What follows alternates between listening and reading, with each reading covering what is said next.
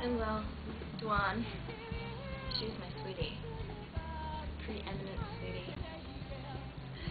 Don't you miss Dwan? Never really knew her. That's right.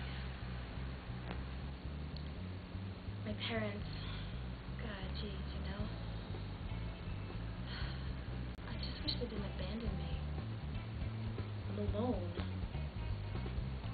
I'm so fucking alone. Desiree, I'm so alone. I just need to feel that I'm wanted. Me too.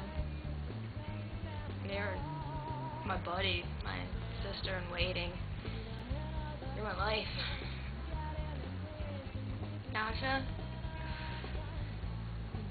Are you my buddy? Yes, sweetie. My buddy in waiting.